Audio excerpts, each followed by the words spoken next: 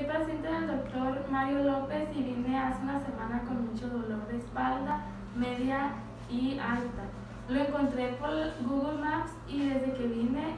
eh, su atención fue muy buena y sus equipos son muy buenos y esta es mi última sesión y